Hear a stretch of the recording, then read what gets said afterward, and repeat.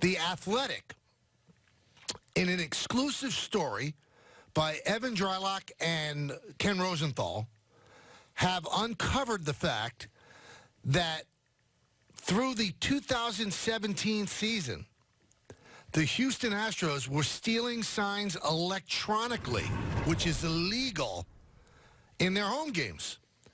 And you could say, well, that's just, you know, uh, Spygate, you know, with the, the Patriots, it was, you know, one guy said this. I mean, did they have anybody really on the record? They have, they have a guy on the record, a guy that was on the team, Mike Fiers, a pitcher, who laid out exactly what they do. And remember, Yankee fans, if you want to get angry, the Yankees lost every single game at Minute Maid Park in the 2017 ALCS. And the last two games, they couldn't score a run. So here's how the Astros did it. They positioned a camera in center field that was zeroed in on the catcher's signs. Okay. That camera had a direct feed to a monitor that was put on the wall between the dugout and the clubhouse, so essentially in the runway. There would be people standing there throughout the game trying to decipher the signs. And once they got the signs, what they would do is they would bang a metal garbage can when they saw the sign for a breaking ball or a changeup. So the batter knew when it wasn't going to be a fastball. And if he didn't hear a sound, he could sit on a fastball. And it worked because the Astros won the championship. Now you could say they won seven, game seven in L.A. Okay, yeah, they're, they're also a pretty good team, but they have espionage somewhat behind them. Now, so many people in baseball talk about the fact that the Astros steal signs illegally. And that's why I don't think they do as good a job of it anymore. Because even if there's nobody on base on, when the Yankees are playing the Astros, all they do is they put down multiple signs. It's hard to decipher, right. even if you have a camera trained on the catcher. So you can also say, well, the Washington Nationals won all four games at Minute Maid Park. Yeah, they did, because I don't think it's as effective anymore because of the fact that people now put down multiple signs. Well, also, Michael, in any kind of conspiracy, it's probably smart to change it up as you go along, right? So after you win the championship in 2017, wouldn't logic tell you, okay, we're going to have to come up with something else because players are going to leave, members of the organization are going to move on, people are going to get hip to it. We're going to have to change it. We're going to have to come up with a different way. And maybe they did. Or maybe they just stopped doing it altogether because they were just afraid that eventually they would get caught. So maybe they didn't do it this year. Maybe they didn't do it the year before. Here's the question. Do you think it's cheating?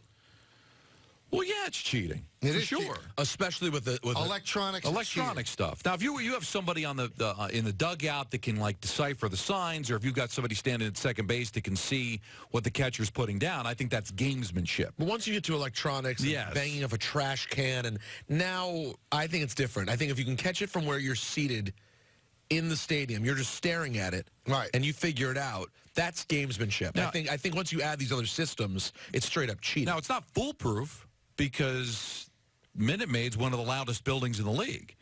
So yeah, during, they said it wasn't effective during the 2017 World Series because it was so loud they couldn't hear the banging of the trash. Can. I'm sure it was loud in Game Six and Seven against the Yankees too. So is it possible that they tried to do it and but it, it wasn't it, heard? It's not. It's not deafening like in the first six innings. no, that, no, that's true. But a big moment. But the fact is, it's cheating.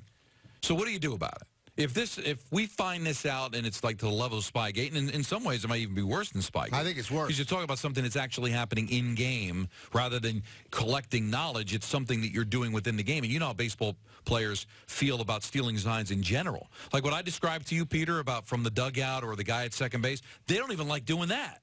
They look at that as like a form of cheating. So if you do it using electronics, it's clearly cheating. Absolutely. So taking draft picks away, suspending you know, members of the front office. I mean, what, what is that going to do at the end of the well, day? It's going to be well, interesting, though, happen? because they're Major League Baseball is investigating the Astros because of the guy Taubman who shot at the thing at uh, you know at the the female reporters. Yeah. So he's been fired. Who knows if he flips on the Astros? And I've I've always thought like Don too.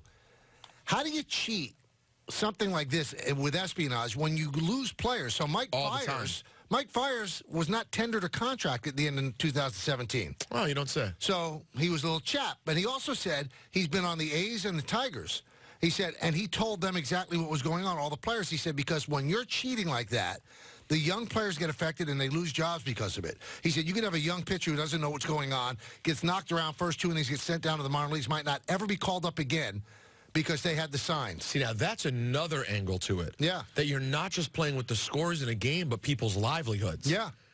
That's that's tough. Right. Now, Michael, you've always said that whether it's, you know, pine tar on the bill of the cap and managers letting it go because, hey, we're cheating too. I wonder if baseball were to do an investigation and tell all the other owners in Major League Baseball, we're going to investigate this and we're going to kind of go around baseball and check things out, whether they say, you know what, let it go. because they're afraid their system might be found out. Right. You know, so I'm wondering what baseball's appetite is to catch the Astros in the first place. Like, is it better for them to do the investigation, say they found nothing, than to actually say that they found something, that the Astros compromised a championship, but all we can do is take draft picks away?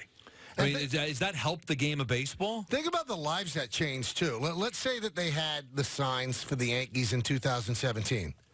If the Yankees go to the World Series and win the World Series, is Joe Girardi still the manager? Although Hal Steinbrenner, no, Hal Steinbrenner's come on the air and say they're going to make a change no matter what. But mm. boy, the, the pressure would be on to change if they won the World Series.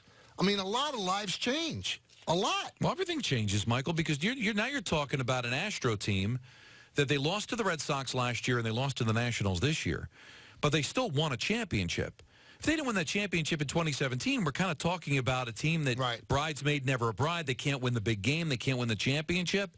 Contract extensions happen because of that championship. Guys may be looked upon differently for their careers because they won the championship there.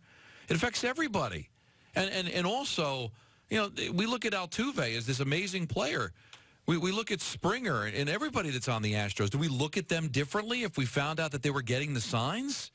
Like, so it is a colossal story here. But it doesn't seem like the punishment will fit the crime because what can they do? They're not going to take the championship away from the Astros. No, no, but they're they, going to take some kind of draft picks away. No, so they'll take some draft picks away. And listen, the, the Patriots lost a bunch of draft picks. They just kept marching along, kept winning championships. So if Spygate actually did work, other than the effect of their reputation, which I'm not sure Bill Belichick cares about anyway, didn't stop them from going out there and still being the best football team in the league. So if baseball punishes the Astros and they keep winning – yeah, people will say they're cheaters, and people will try to claim that the 2017 championship is fugazi. But at the end of the day, didn't it end up being worth it? You won a championship. Everybody made their money. And losing draft picks at the end of the day is probably worth it. I wonder if baseball would ever do anything like the, the silliness that they do in the NCAA where they vacate titles. All right, so how does that help baseball? You can't give the championship to the Dodgers. They wouldn't even want it.